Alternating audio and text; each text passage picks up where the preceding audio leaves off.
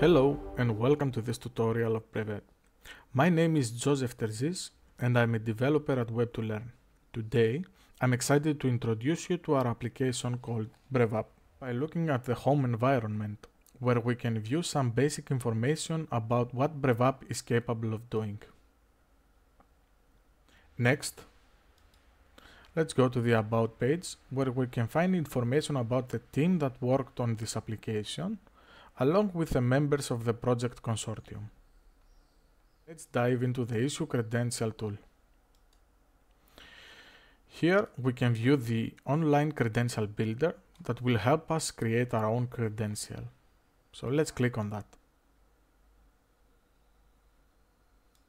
On this page we can see all the credentials that we have created and also the ability to create a new credential template. So let's create a new credential template.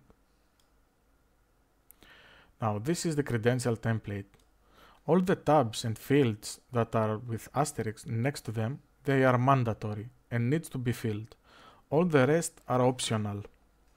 Also, if we want information about what a field means or does, we can go and hover on the blue circle and we can read. Now, let's put the credential title since it's mandatory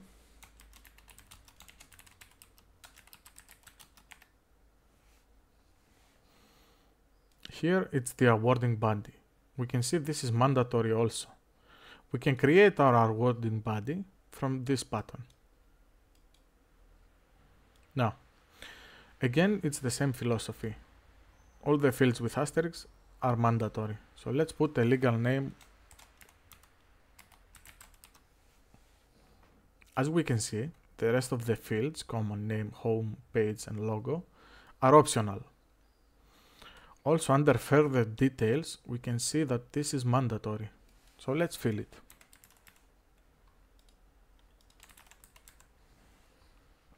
Again, the rest are optional. We can fill all of them, of course, if we want.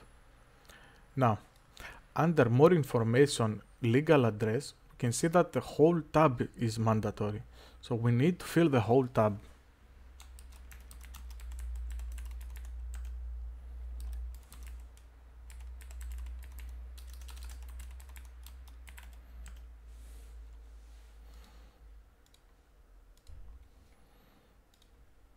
We can move on.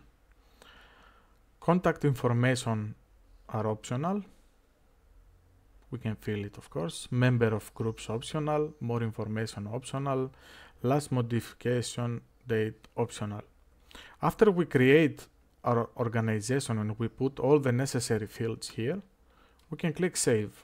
Since I have created already for Web2Learn, I will press Cancel. Here we put the awarding body of the credential. Now, description is optional. Under further details, we can see that valid from tab is mandatory. So we need to put a date here. Expiration date is optional. Credential type, we put generic. And now we move on to the claims. We always need at least one claim in order to issue a credential. Of course, we can have more, but one is mandatory. So let's create an assessment. Assessment title is mandatory. So let's fill it. Assessed by is optional. Awarded by is again mandatory. Since we are awarding the assessment, we put our organization that we created before on the awarding body. Description is optional. We can see under further details, assessment date and the rest are optional. Also here, also in grading scheme, of course we can fill all of these. Now under more information, we can see again the title. This is taken automatically. It's the, take, the, the title of the assessment. But here we can add more information about this. Additional fields, we can add the home page. We can add where, where the assessment took place, address, location, town, and the rest. After we are done and filled all the assessment details we need about our credential, we can click Save. As you can see, this is the assessment we created. It is taken automatically. Of course, I can add more claims if it's needed for my credential, but only one is mandatory. After we fill all the necessary fields that we need, we can click Save. Now we see, again, we created our credential. From the Issue tab here, we can issue this credential. On this page, it, we enter the recipient data.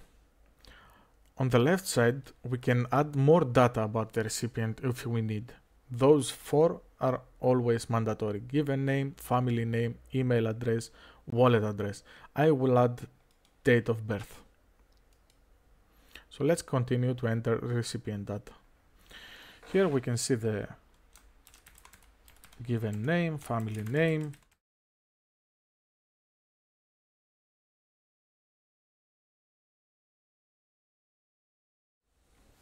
we also need to put a grade. Now I confirm and go next. On this page, we can seal our credential in order to provide authenticity. We click on seal and here we enter the password for the seal that Web2Learn will provide. Next as you can see the credential sealed correctly. So then we click send to send the credential to the recipient through email.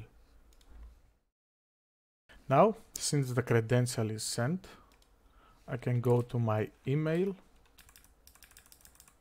to my inbox, and I will see the credential that have been sent.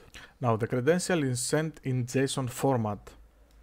So we need to download this JSON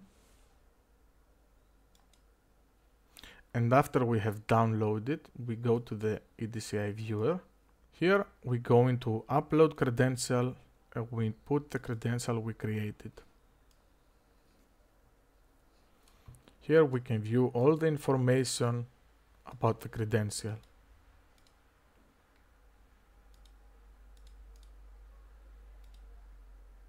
and after that we have the ability to export it in PDF if we go to EduBadges,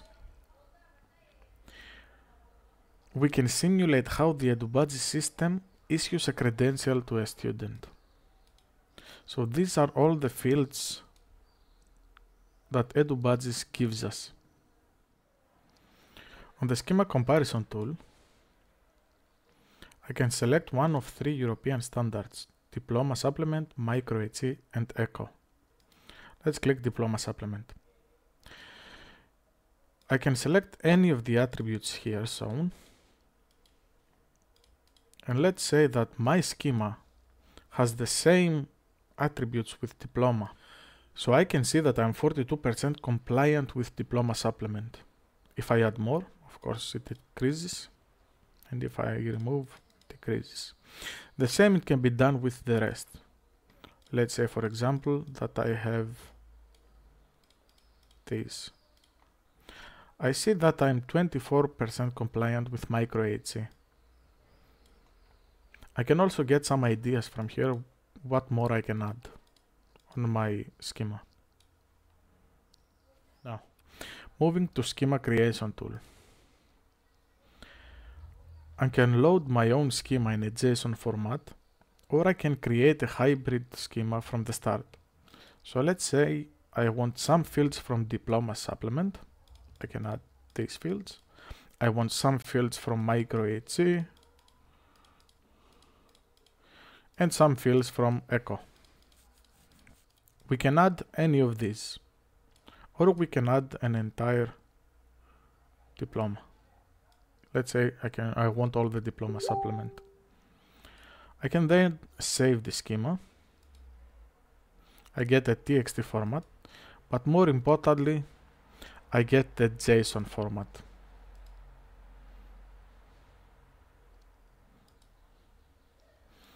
Thank you for watching this tutorial. If you have any questions or need further assistance, feel free to reach out to our support team at Web2Learn.